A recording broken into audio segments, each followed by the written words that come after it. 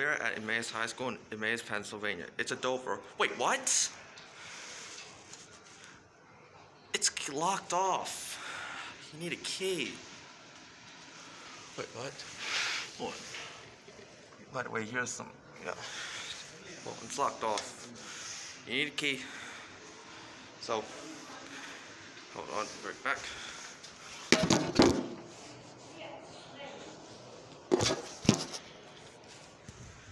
Since though it's locked off, EPIC fail.